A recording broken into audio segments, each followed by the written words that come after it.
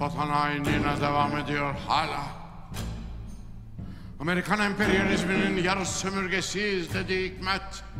Nazım Hikmet vatan hainliğine devam ediyor hala. Bir Ankara gazetesinde çıktı bunlar. Üç sütun üstüne kapkara haykıran puntolarla bir Ankara gazetesinde fotoğrafı yanında Amiral Williamson 66 santimetre karede gülüyor. Ağzı kulaklarında Amerikan amirali. Amerika bütçemize 120 milyon lira hibe etti. 120 milyon lira.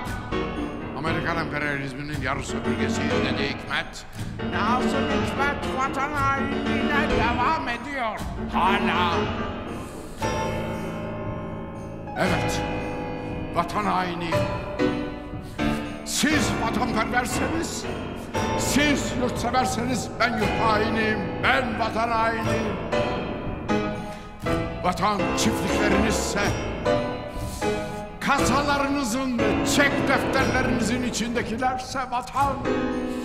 Vatan şose boylarında gebermekse açlıktan, vatan soğukta it gibi titremek ve sıtmadan kıvranmaksa yazın. Fabrikalarınızda al Vatan tırnaklarıysa ağalarınızın, vatan mızrak ilmi halse, vatan polis çopuysa, maaşlarınızsa, ödemeklerinizse vatan.